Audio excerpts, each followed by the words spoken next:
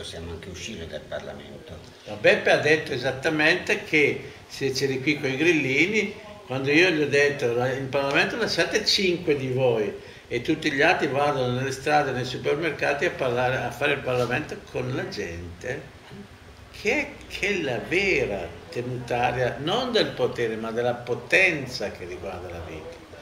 Quindi il potere va abbandonato e la potenza va alimentata, non ci sono mica delle grandi strategie. No, infatti eh, eh, sono molto i grillini sulla sovranità individuale, l'educazione alla sovranità individuale, perché non è facile da servo passare alla consapevolezza di essere libero e prendersi quello spazio e quel, quella dignità e poi eh, co-sovrani che decidono di co-gestire la sovranità in un'ideale comunità sovrana. La Valsusa è un esempio di una comunità sovrana violata nella sua sovranità e, e che si è ribellata, quindi c'è in giro una rabbia che io da Gandiano mi preoccupavo di dire possiamo originarla e trasformarla in creatività, se dalla protesta dobbiamo passare alla proposta. Ecco che immaginare una via intermedia, una, una via da dove siamo adesso alla Kirghisia eh, che ogni comunità potrà essere libera di inventarsi, ci sta una, una speranza ma la sai com'è triste la sorte di chi vive sperando, no? è, una, è una sorte triste. E invece due anni fa io ho scritto a Beppe, caro Beppe, il nostro amico Mahatma Gandhi sosteneva che solo la gentilezza può modificare il mondo. E lui, due anni dopo, Beppe, mi ha risposto con un sms con scritto sto seguendo un corso accelerato di Mahatma. Ma quando sono venuti al, a San Giovanni io ho mandato un sms a Beppe dicendogli caro Beppe ti devo comunicare un fatto politico estremamente grave. Quest'anno le rondini non sono ancora arrivate. Le api stanno morendo. No, le rondini allora il, giorno dopo, stranissimamente, sono arrivate le rondini. Sì, sì.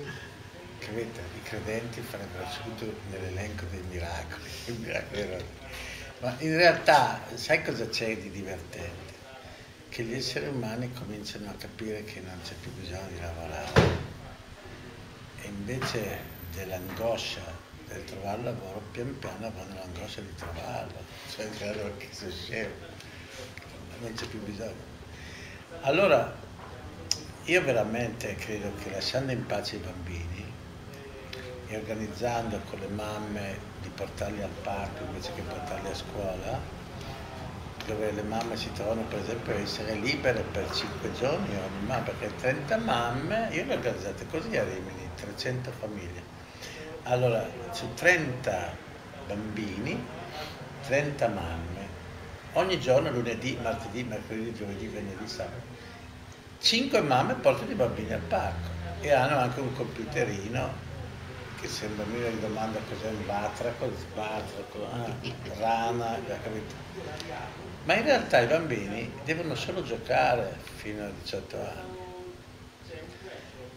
Ma è così sclerotizzata la cultura corrente che persone che pensano che, ma come, allora un ragazzo di 15 anni deve giocare come i bambini? No, deve giocare come un ragazzo di 14 anni, giocherà al cinema, giocherà al teatro, giocherà alla letteratura, giocherà a ballare, ma il gioco è la cultura più antica, è l'unica cultura da ristrutturare continuamente. In questi giorni sta circolando la parola più odiosa che si sia mai formulata, che è la parola riforma. Una parola che sottintende che tutto è stato sformato e bisogna ridare forma, ma non si sa a che cosa. Alla stessa sostanza. Sformata.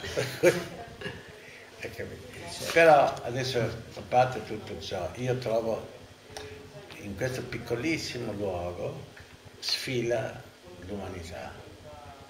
Vengono a vedere i film e hanno delle reazioni molto, molto, molto nuove, molto interessanti.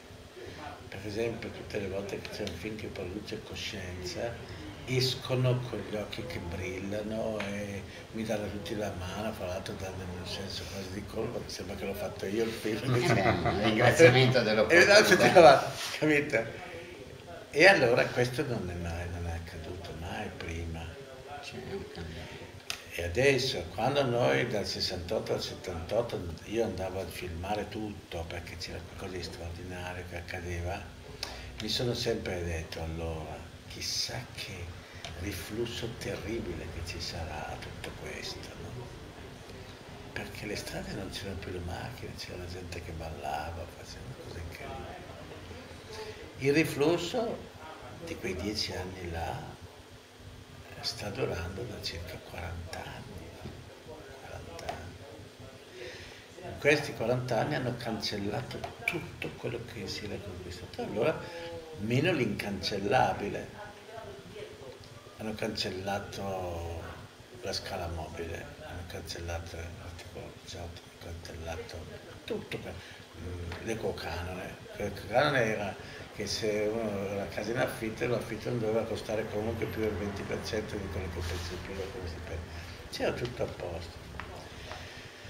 Hanno cancellato tutto, ma c'è una cosa che non hanno potuto cancellare, che è il principio di autorità che si è infranto in quei dieci anni e non c'è più nessuno, neanche il più demente, che pensa di restaurare l'autorità, capisci? Quando parlano del Presidente della Repubblica, le sirene, è patetico, è patetico, è un ometto lì che non si sa, stava anche in piedi. E sì, viene ormai sono uomini che hanno la stessa sclerosi delle istituzioni. Ma per questo io da, da Ma tu cosa vuoi esattamente dall'umanità, dal mondo? Vorrei che fossero felici sì, ma quella... questo è l'unico modo per volere che tu sia felice. A parte ma io bene o male sono felice perché non ho più casa, me l'hanno pignorata, l'ho venduta e pagato le banche di una cooperativa sociale di cui ho investito per vent'anni la mia vita per disperdere il patrimonio lasciato da mio padre e restituirlo agli ultimi della Valsesia, la comunità dove, dove c'era questa cooperativa sociale. Adesso sono libero, sono senza tetto, nomade e ho una pensione sociale di 460 euro. Sto vivendo come vivono un milione di quelli considerati ultimi e ho amici, case, perché non mi, non mi faccio problemi, sto sereno come si dice. Ma è per questo che ho deciso di darmi a, a questa mission di, di, aiutare questo movimento in un momento che, che sento fertile per l'immaginazione, per la creatività, per cominciare a creare una visione che è necessaria perché questi dalla rabbia, dall'incazzatura, dallo sputtanamento dell'avversario, che è più o meno l'energia che adesso usano per vinciamo noi, ma ci sono delle, delle avanguardie. Cos'è che vincerebbe? No, adesso ci sono delle avanguardie che vanno incoraggiate, che dicono dobbiamo vincere tutti ma cosa vuol dire vincere? Vuol dire che ci liberiamo dei vecchi schemi, del vecchio paradigma e, ne, e ce ne inventiamo, ne co-creiamo un altro che sia giusto, eccetera. Ma sì, ma nel frattempo, nel frattempo, ma sì, ma è come il muro di Berlino, no? Che siccome era, la Germania era condannata a rimanere divisa per 40-50 anni, a un certo punto sono finiti i 40 anni e è crollato il muro. E tutti hanno pensato che era una vittoria di progressisti che buttavano giù il muro. In realtà non, non ce n'era più bisogno. Allora, io credo sinceramente che ci sia una, una, delle cose più perverse che si possono imparare sono gli aiuti. Pensa, il mio amico Monicelli mi diceva sempre, Silvano se io avessi una badante o una moglie sarei già morto da vent'anni. Perché, hai capito? Guardate, aiuta il vecchio fare, e si sostituisce a lui. Lui poraccio rimane lì così, a un certo punto a forza di star fermo fa il cadavere perché non può fare altro. Allora, io penso giustamente che felici non si può essere perché ci sono questi 35.000 bambini che muoiono di fame tutti i giorni, quindi uno non può festeggiare.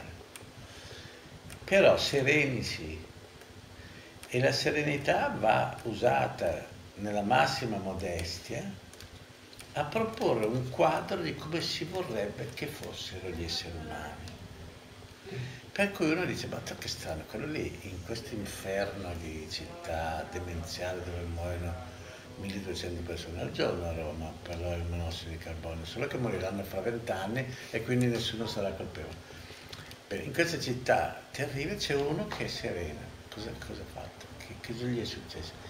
Niente gli è successo. È successo che ha capito che l'essere umano è il massimo capolavoro che esiste sul pianeta e che quindi va valutato e rispettato come tale.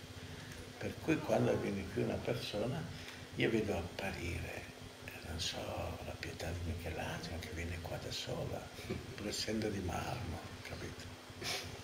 Ecco, allora, sono anche convinto che siccome tutti i 7 miliardi di persone sono collegate fra di loro, sintonizzando il proprio presente non più con la famiglia nucleare, che come si sa è sede del 72% degli omicidi, ma con la famiglia reale che è l'umanità, se tu sei sereno, paradossalmente questa serenità si comunica in modo, se vuoi, infinitesimale a tutti e sette miliardi, non di colpo, pian piano. Sì, siamo tutti connessi, Co- come, tutti collegati. Capisci? Come il sapore della brezza che pian piano muovendosi va a risvegliare tutti i campi, i fiori, gli animali, eccetera. Allora, non, non è più tempo di intervenire dall'esterno sugli esseri umani, quello l'ha sempre fatto il potere. È tempo di intervenire all'interno di ognuno sull'insieme dei 7 miliardi di persone, capisci? Al tuo interno tu comunichi la tua serenità e la tua serenità va a raggiungere tutto. Io ci credo, io in queste cose credo. E fra l'altro da quando io ho adottato un sistema che anche mi dà una grande serenità che consiste nel nascere tutte le mattine e nel morire ogni sera nel sonno e nel risorgere il giorno dopo con il risveglio, non portando mai più i bagagli del passato o le scatole vuote del futuro, ma vivendo l'adesso, l'adesso è il tempo sacro della vita. Allora se tu ogni mattina nasci, ogni sera muori, a parte che in un anno sei risolto 365 volte competente con il povero Cristo là che risolto una volta hanno fatto tutte queste cerimonie. No? Il risorgere diventa semplicemente un nuovo modo di nascere, non nell'incoscienza ma nella coscienza del nascere. Allora, Dio buono, questa energia diventa enorme, perché tu invece di andare lì a, a massacrare uno che già è depresso, già è sposato, già fuma, già lavora 9 ore al giorno, a spiegargli come potrebbe essere l'umanità nuova, è veramente... No, no, io capisco che... Sadico come... Nel, nell'insieme ci sono eh, un sacco di gente che, che conosco, che hanno preso coscienza vuoi perché sono andati a yoga e gli hanno spiegati che sono l'anima oltre al corpo e alla personalità e quindi la ricerca di quell'equilibrio, di quell'unione del presente. Il, la, il, il buddismo ha avuto un'onda di espansione in tutta questa gente che, che fanno Mumio Rengekyo, ma il mantra ma quello è un po', un po triste sì però sono alla ricerca, di, sono alla ricerca de, della liberazione il sì ma il buddismo che è una cosa interessante è una parodia dell'infanzia. Sì. e l'infanzia è molto più forte del buddismo. Basta che uno guardi un bambino da anni 0 anni 3 e capisce che cos'è la vita capisce come si fa a vivere senza farlo gli chiodi. Io, io ti sto dicendo che c'è secondo me una buona massa di gente che aspetta delle conferme. Ma cioè, per avuto... fare cosa? Per farsi ammazzare? No, no, per entrare nel suo sé, eh, quello che è. Eh... Ho capito, ma prima deve aver mangiato e dormito bene. Te lo dico, non esiste, eh, non esiste nell'affamato l'interesse a migliorare l'umanità, esiste solo l'interesse a mangiare. Bisogna fare in modo che tutte le persone, voi vivete in un mondo dove un miliardo di tonnellate di cibo viene buttato ogni anno. Vivete in un mondo dove ci sono 1800 navi buttate di frumento nell'Oceano Pacifico per tenere i prezzi alti, capito? Dio buono. Allora, se tutte le persone hanno da mangiare e da dormire, dopo si incontrano, dopo stanno insieme, parlano. Tu però mi dici, nascere al mattino, morire la, la, sera quando si va a dormire, risorgere il giorno dopo. Ma oggi, in un mondo come quello di oggi, come si riesce a far capire questa cosa poi alle ma persone? Ma non devi farle capire, devi capire te. Eh, io una volta che l'ho cosa capita... Vuol far capire, ma far capire che cosa? Eh, condividere. Cioè, ma lo condividi nel momento, noi adesso siamo qua, no? E stiamo condividendo una serie di pensieri, no? niente di... Nel senso, una volta che tu hai capito questa cosa, la tua sola presenza esatto. porterà le persone a, a essere attirate da, dalla cosa per cui tu vuoi portare le persone, capito? È come, come farla vedere a chi no, tu, tu come, farla, come, farla, vedere a chi ha davanti agli occhi un mondo che gli dice tutt'altro e ma tutti i giorni. non è un problema tuo è il valore del messaggio che conta. Ti faccio un esempio. Mettiamo che tu eh, adesso scopra che mangiando una melanzana una barbabietola e uno spicchio d'aglio non c'è la minaccia di questa nuova epidemia che sta andando in giro. Mettiamo, mettiamo. e mettiamo che sia vero. Io ti garantisco che se è vero nel giro di un giorno tutto il mondo lo sa. Non si sa come accade, ma se è vero lo sa tutto il mondo. Così come tutto il mondo, se uno trovava come si guarisse dall'AIDS, in un certo modo lo, lo trovava, il trovarlo vuol dire che già tutto il mondo lo sa. Capisci? Devi avere una fiducia immensa in te. Secondo me il desiderio di riformare gli altri è un'ennesima fuga da se stessi. Di riformare? Gli altri di andare a evangelizzare cose, capito? In fondo, in fondo perché Gesù Cristo l'hanno mandato in esilio in paradiso? Perché lui non lavorava, mangiava, passeggiava, discuteva, giocava. A parte gli ultimi tre giorni lui ha avuto una vita veramente da, da babbo, no? Hai capito? Allora tu non vorrei deluderti perché il, il messianismo è, un, è, una tentazione che ha ha logorato moltissimi esseri umani. In realtà tu non devi comunicare niente a nessuno, altro che a te stesso. E poi, essendo quella cosa lì, tu lo comunichi a 7 miliardi di persone. Questo io veramente sono profondamente convinto, come ogni cellula del nostro corpo è in comunicazione con l'altra. No? Oggi secondo te è veramente possibile sopravvivere senza stare a determinate condizioni. Intanto sopravvivere è un destino miserabile che io non vorrei mai intraprendere. Semmai si tratta di vivere o esistere soltanto. Il potere fa esistere le persone perché ne ha bisogno, non perché ne hanno bisogno. Nel momento in cui non ha più bisogno di persone, il potere le fa fuori, eh? non è che gli dice prendete coscienza, le, le fa fuori. Comunque, eh, è, è, è, bello che ci sia questa situazione in cui queste cinque persone a, a, alle 11 di sera, invece di parlare de, della Roma e della Juventus, parlano di queste cose. E già insieme a noi chissà quanti milioni di persone stanno parlando. Esatto.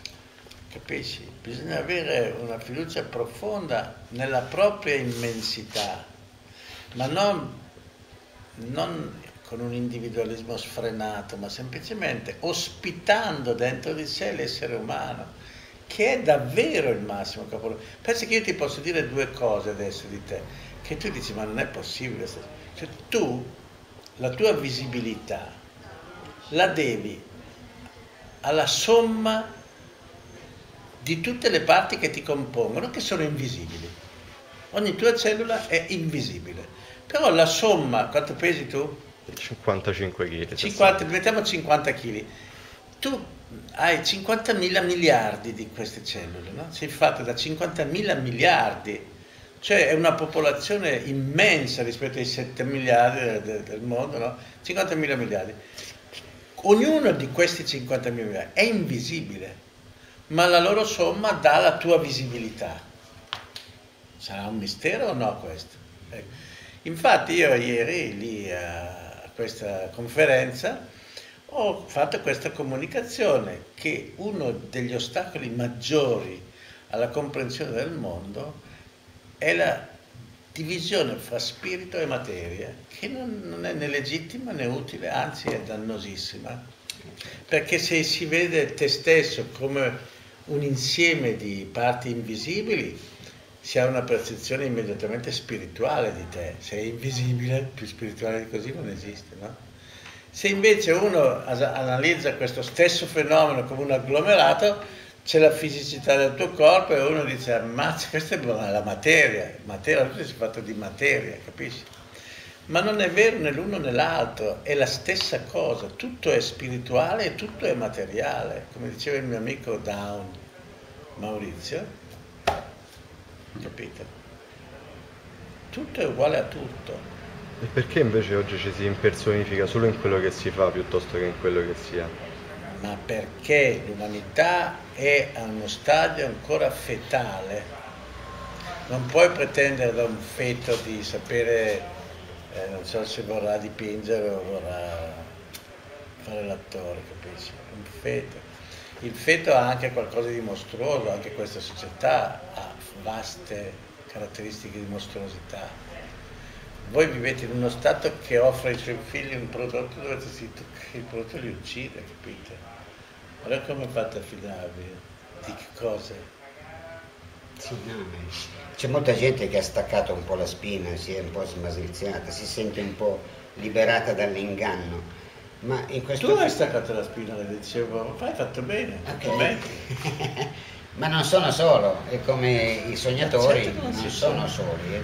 E tutta questa energia creativa che può produrre la visione della transizione potrebbe essere eh, uno sforzo creativo di dare solo degli stimoli, dare delle immagini, come tu hai dato l'immagine dei bambini che a scuola eh, sono nel parco e non nelle aule. È già una visione che stimola certo. e, e se domani ci fosse questa rivoluzione in cui l'organizzazione sociale sarà in comunità sovrane, un tuo podcast in cui gli dai degli stimoli su come si possono inventare una scuola veramente che crei una generazione di uomini liberi non e sovrani. Non ci deve essere la scuola. La scuola e il manicomio la non sosti- hanno diritto di essere. La sostituzione della scuola con. Col niente, col gioco. Ecco, gioco. con la non obbligatorietà. Io l'ho detto anche nelle scuole dei miei figli, poi anch'io ho fatto l'homeschooling quando sono nato negli Stati Uniti, cioè avevo capito che la scuola è un, è un condizionamento che crea colletti bianchi o colletti blu, persone obbedienti, rispettose dell'autorità, puntuali, che si portano pure il lavoro a casa. Sostanzialmente il regime nel piano di sviluppo occidentale aveva bisogno di operai e di impiegati e sono andati avanti. Adesso la globalizzazione di quel modello sembra essere in recessione perché si sono accorti forse anche loro che non è sostenibile e quindi... No, no, si sono accorti che la macchina non sciopera, non viene pagata, non si ammala, lavora volentieri 24 ore al giorno e perché mettere lì le persone che invece scioperano, vengono pagate, si ammalano, lavorano mal volentieri più di tre robotica. Hai capito? Non è che, ma è, va, come vedete c'è qualcosa che sta accadendo al di là di tutte le intenzioni, accade qualche cosa, capisci? E, e questo accadere si chiama storia, la storia degli uomini, non la storia del potere che è quella che si impara a scuola, ma la storia degli uomini. E siccome siamo contemporanei, la viviamo questa storia, qualcuno sente il bisogno di partecipare, no?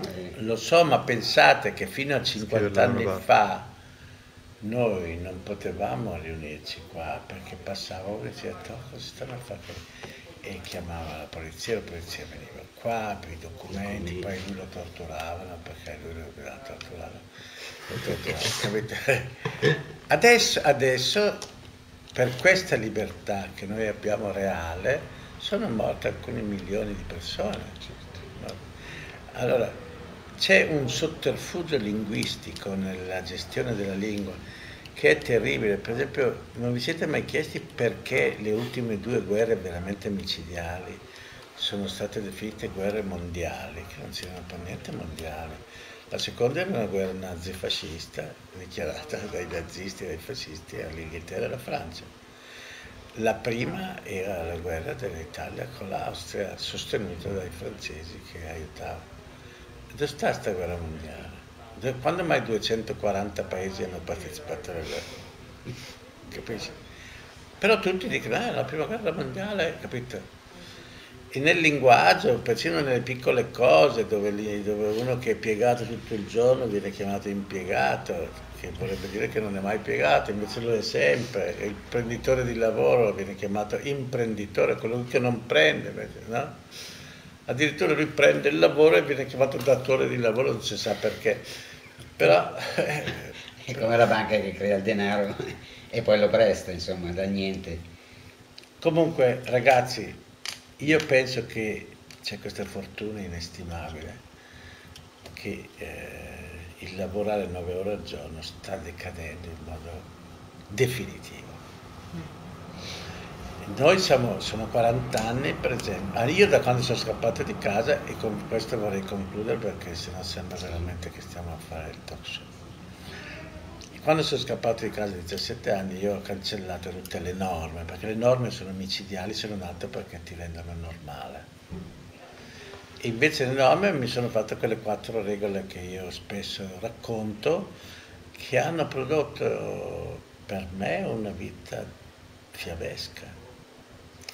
Le quattro regole erano, quando avevo 17 anni che scappavo di casa, una era non lavorerò mai più di tre ore al giorno, piuttosto muoio.